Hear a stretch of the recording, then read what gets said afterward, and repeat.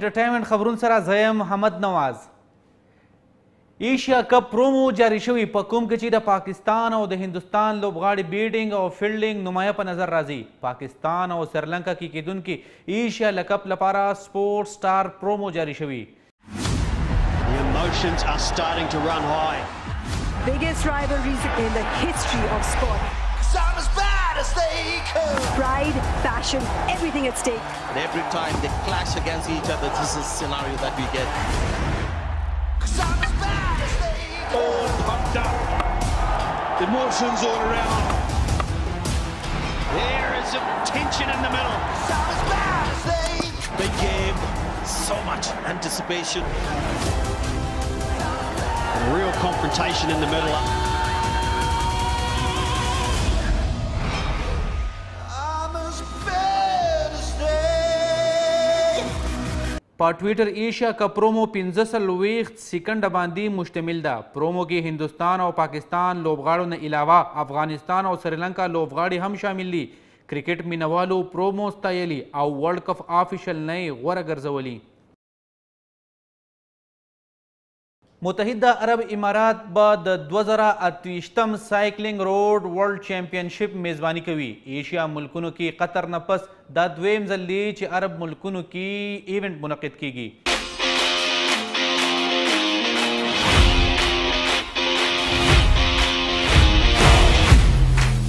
دوه زره شپاړسم کې قطر کې یو سی آی ګیمز ترسره شوي وو ګلاسکو کې یو سی آی کانګرس اجلاس شوی وو اجلاس کې چیئرمین ویلي وو چې څلور برازمونه به اته ملکونو به څوارلس ګیمونو کې لوبولي کیږي افریقې ته وړمبي ځل روډ چیمپین شپ میزباني میلو شوې وه دوه زره پنځویشتم کې روانډا کې مقابلې کیږي روډ چیمپین شپ دوه زره څلوېښتم مقابلې به په سویزرلینډ کې دوه زره شپږویشتم کینیډا کی او دوه زره اتیشتم په فرانس کی ترسره کیږی.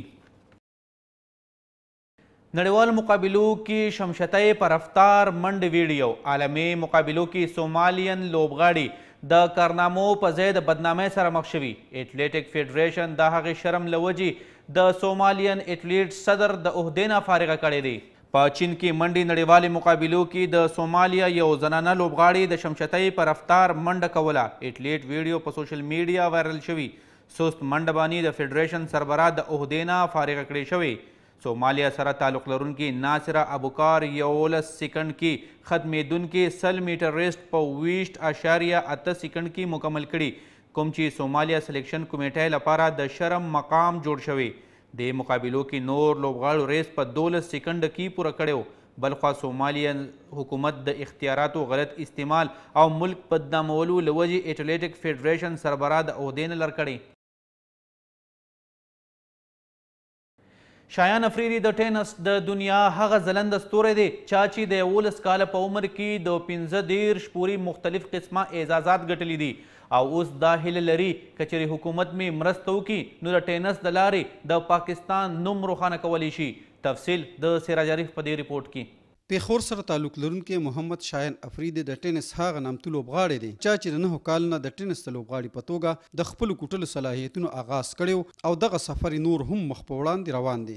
د یوولس کلن شایان افریدي پلار او تره هم د ټېنس لوبغاړي پاتې شوي دي او نن سبا د پېښور په مختلفو ټېنس کورټس کې په سوونو لوبغاړو ته د ټېنس تربیت ورکوي. شایان افریدي په خپلو کمو وسایلو کې هم حوصله نه ده بایللې او تر پنځه دېرشو پورې مختلف قسمه اعزازات یې په خپل نوم کړي دي. د ټېنس نامتو پخوانی لوبغاړی او د خیبر پښتونخوا ټېنس سویشن جرنل سیکرټري عمر ایاز خلیل وايي چې پېښور کې د ټېنس د لوبغاړو ډېر صلاحیتونه موجود دي. یوولس کلن شایان افریدی وايي چې هغه به تعلیم سره سره د ټېنس په دنیا کې هم خپله مبارزه روانه ساتي او دا هیله یې څرګنده کړې ده چې که چېرې په حکومتي کچ هغوی سره لږه ډېره مرسته هم وشوه نو په نړیوال کچ به د ټېنس د لارې د دې منطقې نامه روښانه کوي.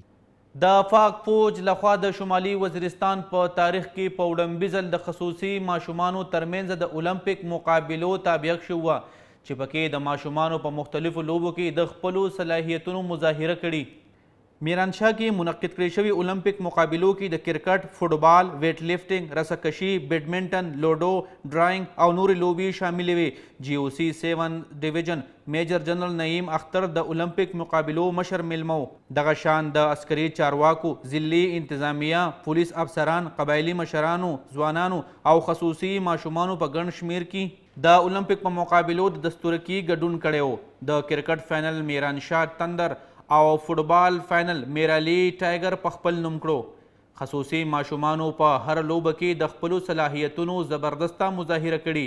د المپیک مقابلو په پای کې مشر میلمه میجر جنرل نعیم اختر مقابلې ګټونکي ټیمونو او د غوره کارکردګۍ مظاهره کوونکو لوبغاړو کې نغد انعامونه، مډلز، او ټرافۍ تقسیم کړي. په دې موقع خصوصي ماشومانو او مشرانو د المپیک لوبو په انعقاد د فوج ستاینه وکړه او ویې ویل چې پاک فوج سره د سرحدونو حفاظت ترڅنګ د شمالي وزیرستان خوشحالۍ او ترقۍ لپاره هم هلې ځلې کوي. نامتو مشهور فلم ساز او هدایت کار صمد کوست فلم زندګي تماشا په یوټیوب باندې اپلوډ شوی. سیاسي تنازعات له وجې فلم په سینماګانو باندې نه دی ښوولې شوی. درې کاله د بندیز له وجې آخر کار فلم په یوټیوب ریلیز شوی دی. صرمد په انسټاګرام یو ویډیو پیغام جاري کړی، څوارلسم اګست یې خپلو مینوالو ته مبارکي ویلي.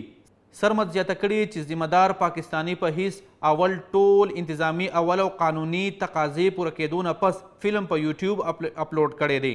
یاد دې وي چې تحریک لبیک پاکستان په څلېرشتم جنوري دوه زره شلم کې زندګي تماشا فلم د ریلیز کېدو خلاف مظاهرې کال ورکړی و چې د کوم له وجې فلم په سنیماګانو بند شوی و.